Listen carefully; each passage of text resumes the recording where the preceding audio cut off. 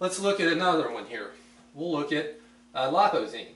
And once again, it's a uh, very highly um, advertised product. Uh, it's something that um, you'll see all over the place, and you can see lose weight without changing your lifestyle. Achieve weight loss goals with America's number one diet supplement. So America's number one diet supplement. We go on down, we see, you know, it talks about losing pure body fat, and we can see some people here that says lost 90 pounds in 12 months, 15 pounds, and you can see it says results may vary, but it leads you to believe that you can get these types of results um, just by taking the supplement. Now, if we look on here, results not typical, endorsed, uh, endorser used Lipozene in combination with diet and exercise, and once again, was paid. They are seeing benefits, so I don't want you to think that they're not seeing a benefit. And the supplements usually have some side effects, and that's why when I talk to clients about supplements, I talk about making sure that they are healthy, making sure that they don't have any issues before I suggest any type of supplement to them. But once again, taking this in conjunction with a healthy diet and exercise might help you progress.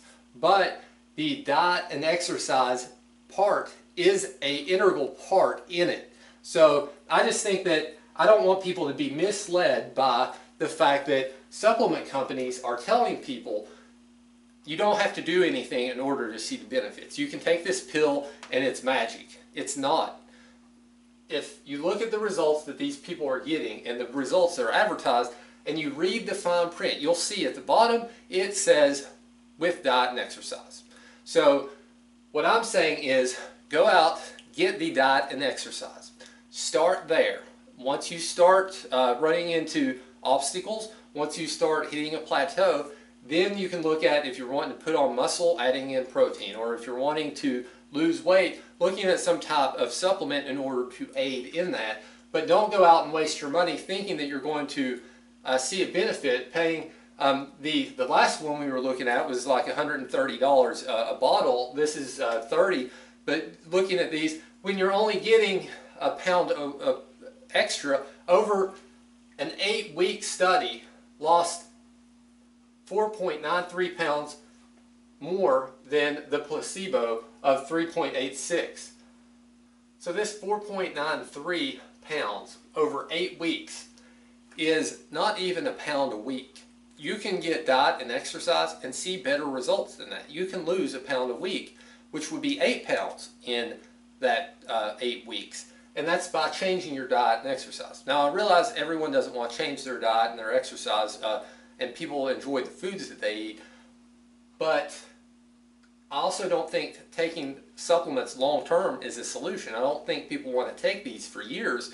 And if you don't get your diet and exercise in line, then you're going to be stuck taking a supplement long term. And eventually, you're going to start getting to the point where you don't see results from that.